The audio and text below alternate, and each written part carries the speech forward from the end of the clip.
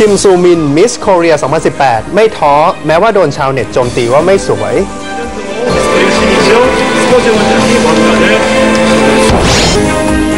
ช่วงนี้อัปเดตข่าวเกาหลี Seoul Inside กับพี่ปลาครับ ข่าวแรกนี้เลยอย่างที่บอกน่าสงสารจริง ๆ ครับ ข่าวของคิมซูมินนะฮะเพิ่งจะคว้าตำแหน่ง Miss Korea 2018 ไปนะครับ แต่ปรากฏว่าโอ้หชาวเน็ตนี่จวกหนักมากเลยในเรื่องของความสวยของเธอนะครับ โดนตัดกำลังใจแบบนี้มาดูเธอว่าจะว่ายังไงครับ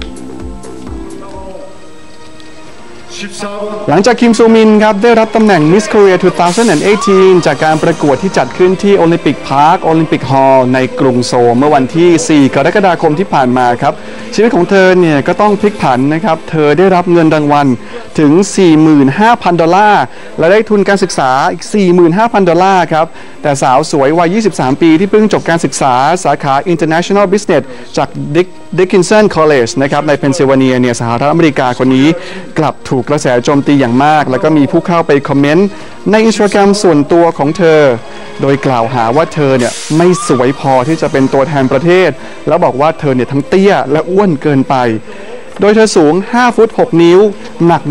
131 ปอนด์ครับ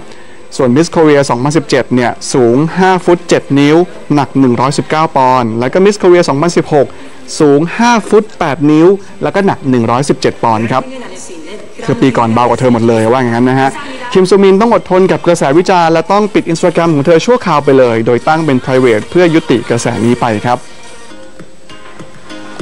อย่างไรก็ตามนะครับความคิดเห็นแย่ๆในโลกโซเชียลเนี่ยไม่ทำให้เธอท้อถอยว่าล่าสุดเนี่ยเธอกลับมาใช้งานอินสตาแกรมอีกครั้ง พร้อมกับนำภาพของตัวเอง ตอนได้รับตำแหน่งมาโพสต์ และใส่ตำแหน่ง Miss Korea 2018 ไว้ในโปรไฟล์ของเธออย่างเต็มภาคภูมิด้วยแหละครับ คิมซูมินเขียนข้อความชี้แจงเป็นภาษาอังกฤษและเกาหลีว่าในสัปดาห์ที่ผ่านมา เธอได้รับข้อความดีๆ และกำลังใจจากผู้คนมากมาย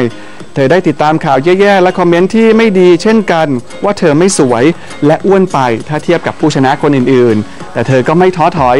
เธอรู้ดีว่ายังเป็นหนทางอีกยาวไกล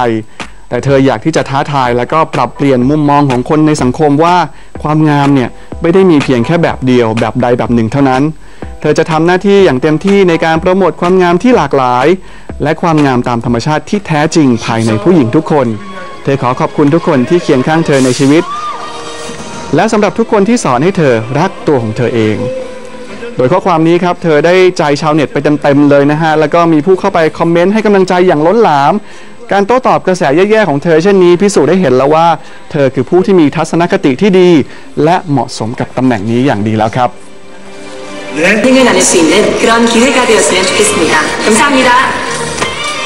네. สุดยอดเลยจริง ๆ นะครับ ผมเชื่อว่าก็มีจังหวะหนึ่งโมเมนต์หนึ่งที่เธอน่าจะตั้งตัวไม่ติดนะฮะแต่ปรากฏว่าหายไปแป๊บเดียวนะฮะกลับมาสตรองกว่าเดิมอีกนะฮะแล้วก็มีการโพสต์ข้อความแบบนี้ผมว่านี่แหละครับ True Beauty ความสวยที่อยู่ข้างในนะฮะเธอเหมาะกับตำแหน่งนี้แล้วล่ะครับ